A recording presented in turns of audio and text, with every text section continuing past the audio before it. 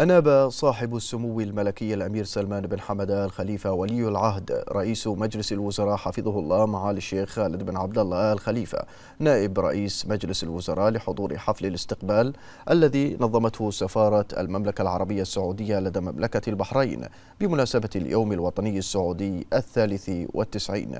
ولدى وصول معاليه موقع الاحتفال يرافقه عدد من أصحاب السعادة الوزراء كان في مقدمة مستقبلي سعادة المستشار صالح صالح بن فلاح العتيبي القائم بالأعمال بسفارة المملكة العربية السعودية لدى مملكة البحرين والمسؤولون بالسفارة حيث نقل معالي تهاني وتبريكات صاحب السمو الملكي ولي العهد رئيس مجلس الوزراء حفظه الله إلى خادم الحرمين الشريفين الملك سلمان بن عبد العزيز آل سعود عاهل المملكة العربية السعودية الشقيقة وإلى صاحب السمو الملكي الأمير محمد بن سلمان بن عبد العزيز آل سعود ولي العهد رئيس مجلس الوزراء وإلى الشعب السعودي الكريم بهذه المناسبة الوطنية العزيزة وأمنيات سموه للمملكة بدوام التقدم والرخاء والازدهار في ظل قيادتها الحكيمة. وأكد معالي الشيخ خالد بن عبد الله أن العلاقات البحرينية السعودية الراسخة والضاربة جذورها عمق التاريخ منذ أكثر من ثلاثة قرون تستمد قوتها من روابط متينة يعززها الحرص المتبادل بين حضرة صاحب الجلالة ملك البلاد المعظم وأخيه خادم الحرمين الشريفين حفظهما الله والرؤى المشتركة لصاحب السمو الملكي ولي العهد رئيس مجلس الوزراء وأخيه صاحب السمو الملكي ولي العهد رئيس مجلس الوزراء بالمملكة العربية السعودية لتطوير تلك العلاقات والدفع بها قدما. الأمر الذي أضفى عليها سمة لافتة وجعل منها نموذجا متميزا ومشرفا للتعاون الوثيق والشراكة الاستراتيجية لتلبية تطلعات الشعبين الشقيقين عبر مزيد من التكامل والترابط والتنسيق في مختلف المجالات.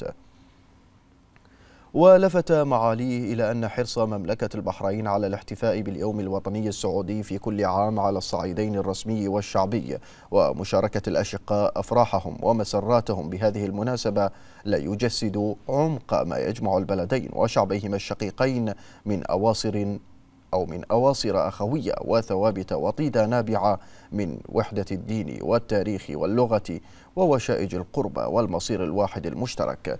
وأوضح معاليه أن الإنجازات التي كانت ولا تزال المملكة العربية السعودية الشقيقة تحققها في ضوء رؤيتها الطموحة 2030 تعكس حنكة وحكمة قيادتها التي أعلت من شأن الإنسان السعودي ليكون المحرك الرئيس في عملية التطوير والتحديث والتنمية الشاملة التي تشهدها البلاد والتي ينظر إليها بعين الفخر والاعتزاز.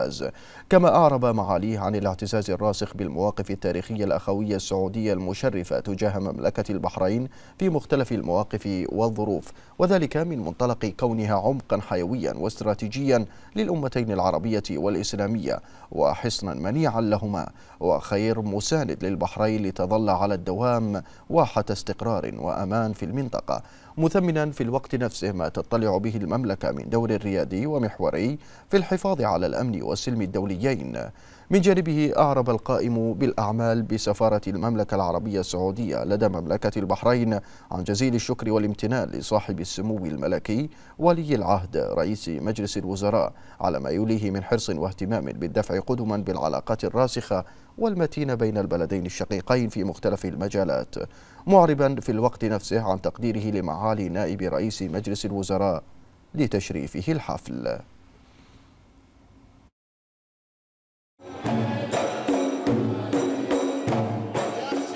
المملكة العربية السعودية البلد الحبيب القريب الذي كان ولا يزال شامخا معتزا بأصالته وعروبته ودينه كبيرة هي مكانته في قلوب مختلف فئات المجتمع البحريني الذي عبر عن أخوته ومحبته خلال هذا الحفل الكبير الذي نظمته سفارة المملكة العربية السعودية الشقيقة في مملكة البحرين. وذلك بحضور عدد من كبار المسؤولين وأعضاء السلك الدبلوماسي والسلطة التشريعية وذلك بمناسبة الذكرى الثالثة والتسعين على تأسيس المملكة العربية السعودية.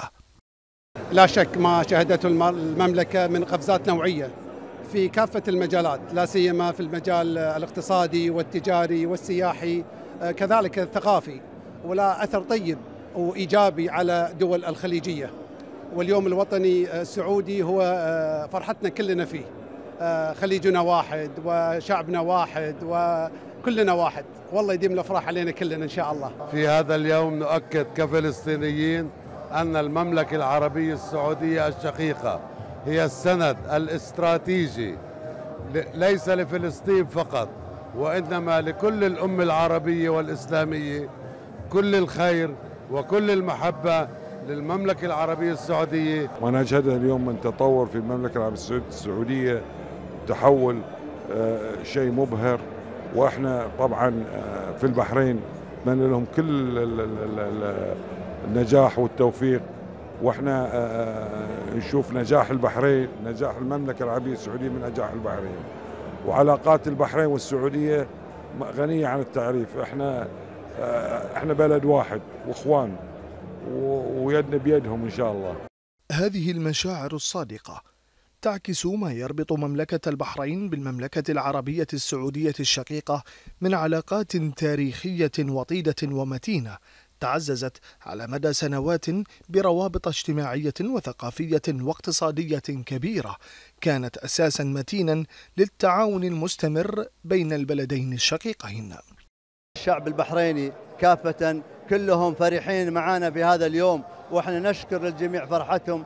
ولا هي بغريبة هذه وطننا وطن الجميع المملكة العربية السعودية والبحرين الدولة الشقيقة العزيزة على السعوديين وكذلك دول مجلس التعاون. فإحنا فرحة الجميع سواء كان يوم وطني سعودي أو يوم وطني بحريني كلنا نشارك لأننا نعتز ونفتخر بهذا الخليج.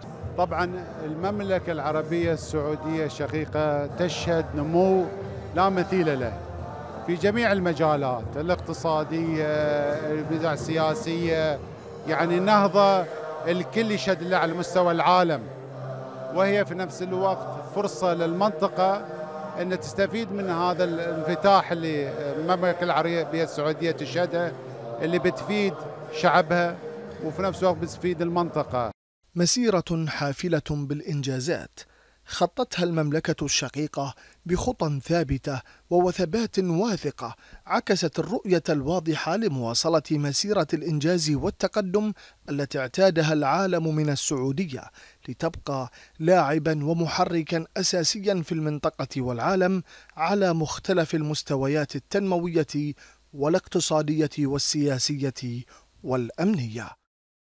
في الذكرى الثالثة والتسعين على تأسيسها ستبقى المملكة العربية السعودية الشقيقة مملكة شامخة تحلم وتحقق تنجز وتتقدم تعانق الإنجاز في كل مجال ويشهد لها بذلك القاصي والداني وخير دليل على ذلك هذا الحفل الغفير الذي يعكس مكانتها الرفيعة في وجدان المجتمع العربي والبحريني على وجه الخصوص.